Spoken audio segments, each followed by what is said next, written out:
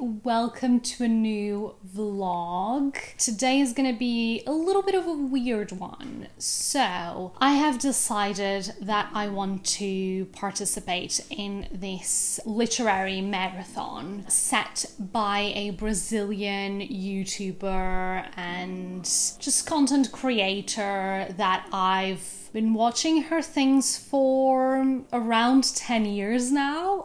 her name is Melina Souza and her channel is Tea with Mel on YouTube. And she has just announced eight days ago this readathon that I think it's like the fourth or fifth year running. It's all about Halloween and there are prompts and it's uh, it starts on the 13th of October and it ends on the 31st. Today is the 12th of October. I'm not actually sure when this video is going to go up because there are other things that are going to be happening in these weeks of the readathon that I'm going to be filming for other videos. So I think this is just going to be probably a quite big long video of snippets snippets of my reading throughout all of these days. Not only do we have reading prompts, but we also have activity prompts in this readathon. Let's start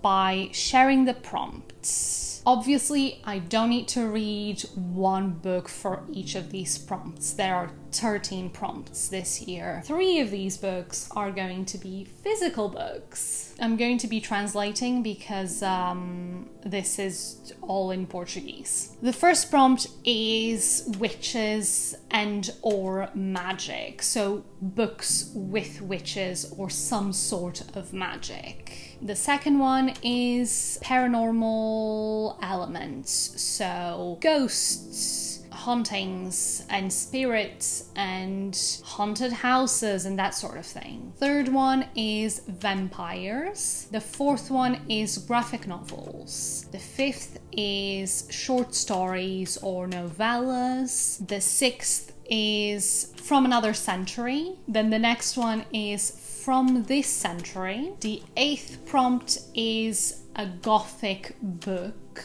So it can be from any genre, but it has to have gothic elements. You then have that a book that is set during Halloween or it mentions Halloween. Tenth prompt is a book that has Halloween colors on the cover. The 11th is a mystery, so it can be a cozy mystery or a thriller. And then the 11th is an author that has died. And the last prompt is it's kind of titled Spiderweb, but the idea is that it's a book that has been in your TBR or on your shelves for so long that you haven't gotten to it yet. So, this is the time to make time to read that book. And yeah, those are all the prompts. And then we have, in terms of activities, we have to share your TBR, be it a photo, video, reels. This counts as that actually. Then, kind of make some food that is that goes with the theme of this video. You then have listen to Halloween songs, and uh, the fourth one is to decorate a little corner of your house Halloweeny. The last activity prompt is to watch films or animations or series that are themed around Halloween. I obviously have been doing a few of these already, so it's going to be easy enough to just go through those. And now let's get on to the books. First of all, I have Frankenstein, which was going to be part of my Dark Academia video, but then I ended up not reading it. I literally have it physically. I also have it on my Audible, plus on my Kindle. So I I definitely have a way to getting to this this season. In case you don't know what this is about, this is about a scientist. So this is about a scientist that decides to play at God and bring a creature to life and the monstrous creation then runs away, and this follows the journey that they go on. From there, I was quite shocked to discover that they go to the Arctic in this story. So this book fits the prompt of gothic of another century and spiderwebs because I've been wanting to read it for a long time. It's like half five. It's really not late in October, but we've been having a couple days. I mean, I can show you the sky. It's you wouldn't be able to even see it because it's fully just grey. Um, the next book I have here is actually in this little book. There are three tales, but I'm only going to read one. I am going to read The Telltale Heart by Edgar Allan Poe. I haven't ever read any Edgar Allan Poe, and I have had this book for at least a year now. It has three stories. Obviously, The Telltale Heart, The Fall of the House of Usher, and The Cask of Amontillado. So I shall be reading The Telltale Heart this autumn. This fulfills the prompt of short story, but also author that has already died. I mean, I could have given that one to Frankenstein, but he has died as well. Oh no, it does say horrifying tales of mystery, sickening madness, and buried bodies. We then have to fulfill the graphic novel prompt. We have Snap dragon. But yeah, this is a little bit of a creepy graphic novel about a girl that ends up working for a witch that she thinks this witch is a fake witch. She doesn't think she is an actual real witch, but I think she discovers that there's, that there's more to it and that she personally has a connection to this witch that lives in her town. Uh, I then have a three more books. One of them it's because I'm in the middle of, and that is Enchanted to Meet You by Meg Cabot. So this is going to be a series called The Witches of West Harbor. I assume it's going to be all romances. First one follows Jessica Jess Gold as she is approached by this random guy one day in her store that tells her that she's the chosen one and she needs to kind of help this other girl realize that together they're supposed to save West Harbor. In this world, everyone has the capability to become a witch. You do have witch families, anyone can train and learn to become a witch by themselves, which is what Jessica has done. You are following two perspectives, not only the main character and the main interest, but you're also going back in time and seeing kind of diary entries of our main character when she was in high school. So we'll see how it all comes into play. Enchanted to Meet You fits the prompt of witches slash magic and also the prompt of it's set in Halloween slash mentions Halloween. Week. The next two I have one is a kind of young adult, middle grade vampire story to fulfill the prompt of vampire and from this century. And the other one I have is a mystery with supernatural elements, and the cover is filled with Halloween colors. Those are the prompts they fulfill. The first book is How Not to Be a Vampire Slayer. So, this book came out last year, and I remember seeing it on Waterstones and being like, this sounds so good. It's about a girl that she uncovers Skeleton Manor and meets a young vampire called Sharptooth Shadow. Can she change her destiny and find a way to keep the peace between humans and vampires? But when Maggie discovers that she descends from a long line of vampire slayers, can she and Sharptooth overcome their history and save the forest and their friendship? The last one I have is the mystery that I was talking about that fulfills the supernatural elements, Halloween colors on the cover, and mystery prompts, and that is The Ghosts and Mrs. Mewer. Technically, the second in the Paws and Claws mystery series, but this is set around Halloween. So I definitely wanted to read this one. It's about the top pet friendly getaway in the United States is gearing up for a good Halloween until a spooky murder shakes the town to its core. Holly Miller doesn't believe in spirits, but the Sugar Maple Inn is filled with guests who do. The TV series in development, Apparition Apprehenders, has descended on Wagtail's annual Halloween festivities to investigate supernatural local legends. And Holly has her hands full showing the ghost hunters a scary, fun time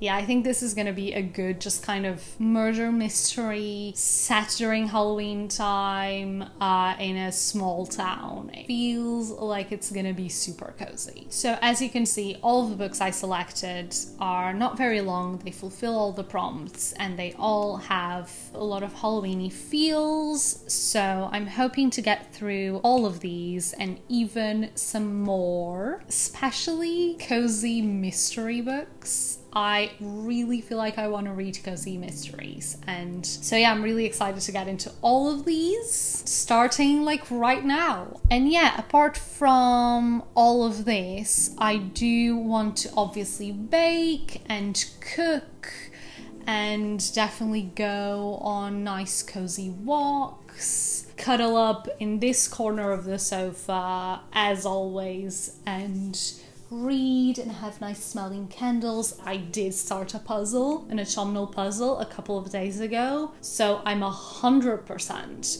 going to be listening to an audiobook and doing that.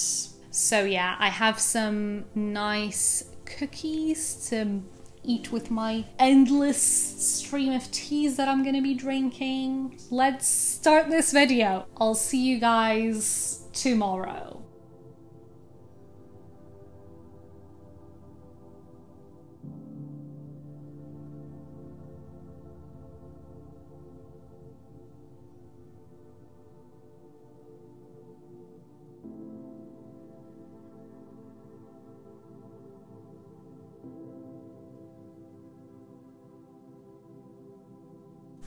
I came in to tell you that tomorrow we're going to London. We have a couple of personal bureaucratic things to take care of. And then we're going to spend the day at Kew Gardens, which I've always wanted to visit during autumn time. Uh, we've only visited once before, and that was in spring, which was really lovely. Everything was flowering, it looked really green and luscious. But now it's going to be a bit of the opposite. Things are starting to die hopefully it will be a little bit of a moody day so we can have some wind um, moving on the trees and that sort of thing. We'll we'll see. But i'm really really excited and we're waking up really early tomorrow so i wanted to check in today as well as telling you how the books are going. I am around midway through both of the books I'm reading. Obviously, one is an audiobook, and that is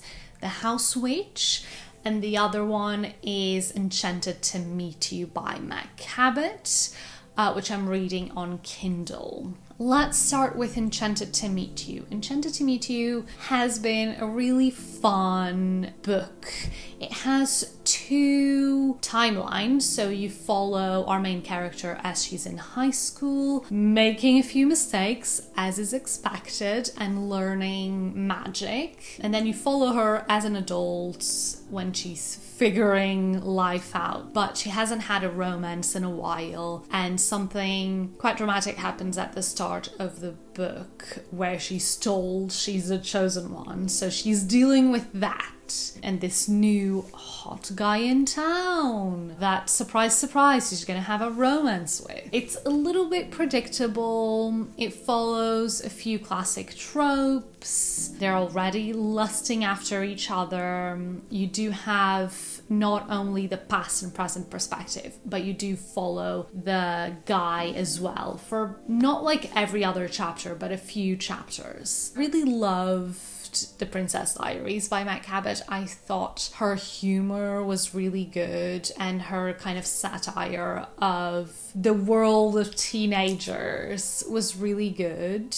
And I'm feeling like this book is just a little bit of a copy of every other witchy romance that I've read. But I am loving The House Witch. It's just a slow, heartwarming, good time. The relationship between the characters are just lovely. You really see them develop throughout every interaction. It is a relatively long book, so for now, not much has happened. But you do really follow through with these characters, and you even see side characters develop slowly. It's so nice. I feel like maybe the writing is not the best, but everything is really well done. You have all of the characters, not only our main character, you follow a lot of characters through the perspective of our main character.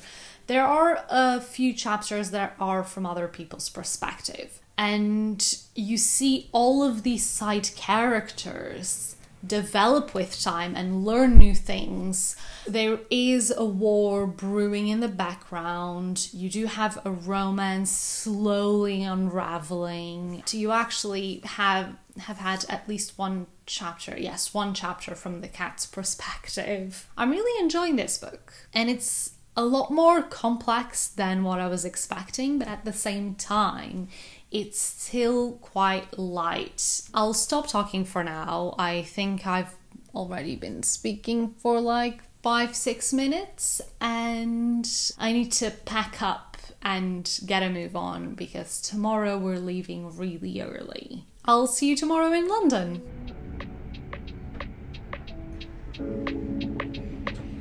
Mm.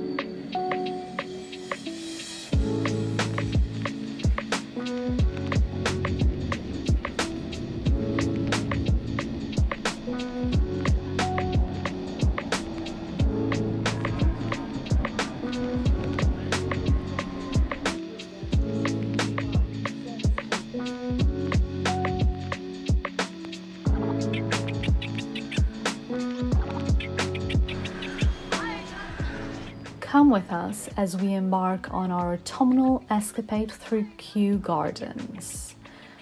I couldn't help but be swept away by a gust of excitement as leaves swirled and twirled in the air, setting the stage for a day of seasonal exploration.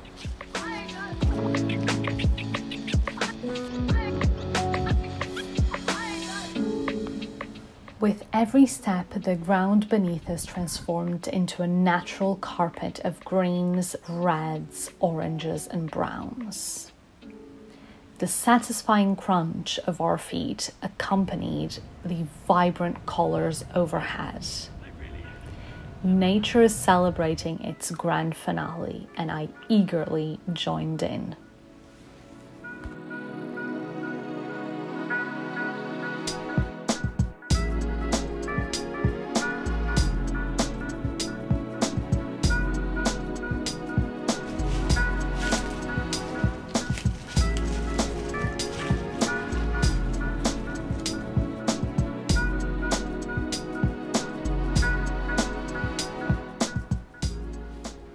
Within the Temperate House, the largest Victorian greenhouse in the world, my journey took an unexpected and unlightning turn with the Queer Nature exhibition.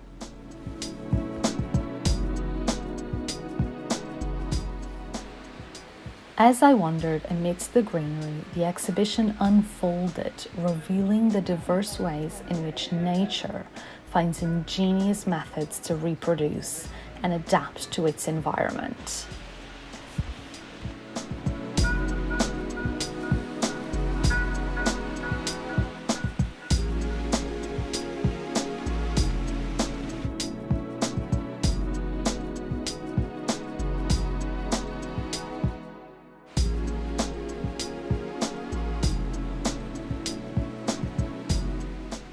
Reflecting on the parallels between the exhibition and human behavior, I couldn't help but marvel at the irony.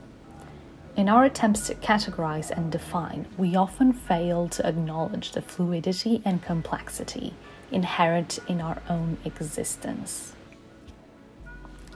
The richness of diversity displayed in nature's reproductive strategies stood as a testament to the beauty found in differences.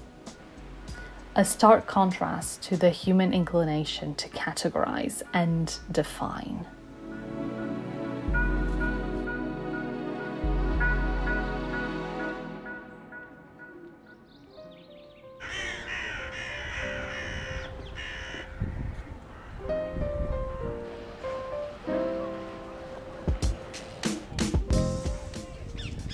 At the treetop walk canopy, the clear view of the parakeets in action added a new layer to the experience, transforming their melodic chirps into a visual symphony. It was as if the trees themselves were alive, animated by the presence of these feathered residents. The experience emphasized the interconnectedness of life a testament to a, the delicate balance that sustains Kew Gardens, and by extension, our shared natural world.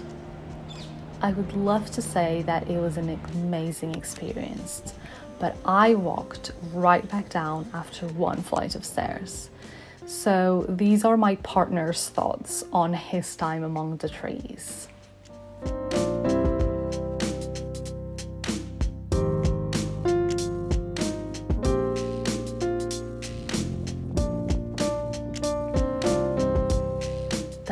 Of the Arboretum was undoubtedly the picturesque lake adorned by a graceful bridge, a scene straight out of an autumnal painting. The water mirrored the fiery hues of the surrounding trees, transforming the pond into a liquid canvas of reds, oranges, and golds.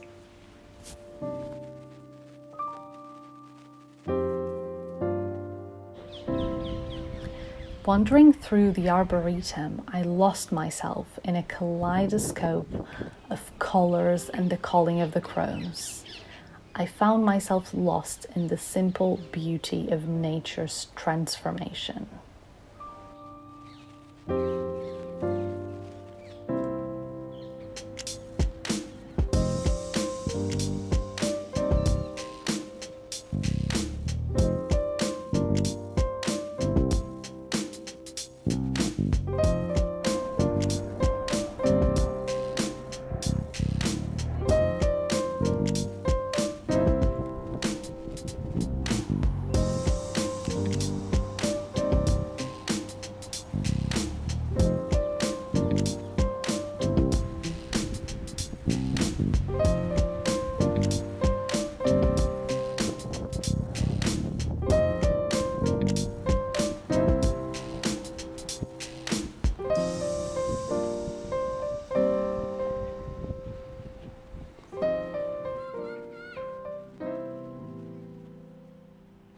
Stepping into the water lily house, we immediately were enveloped in a cocoon of mist and warmth, a stark contrast to the crisp autumn air we had just left behind.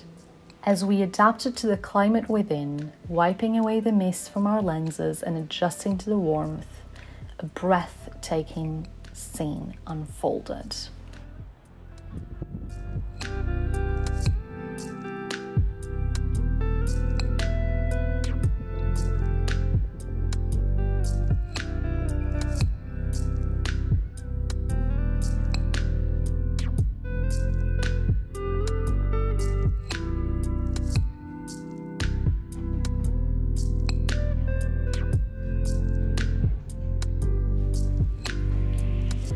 As we wandered amidst the giants of the Palm House, we noticed an unusual opportunity. The top of the Palm House was open, beckoning us to venture to a higher level, typically concealed from public view. The prospect of exploring this hidden realm filled us with a sense of quiet excitement.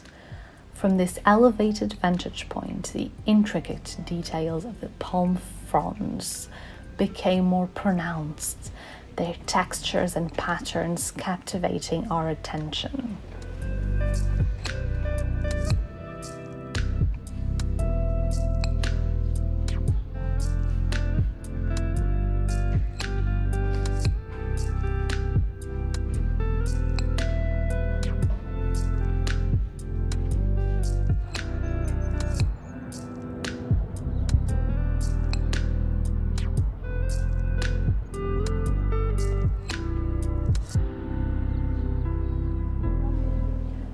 Reluctantly, we made our way back towards central London, bidding farewell to the botanical haven that had enchanted us with its autumnal beauty.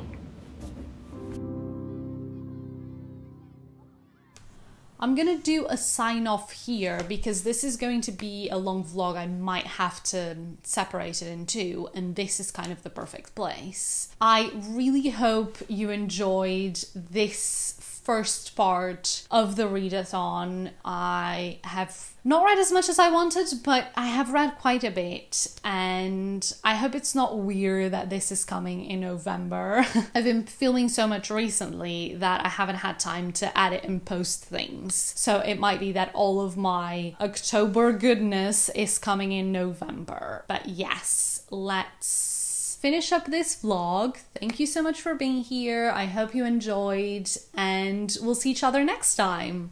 Bye!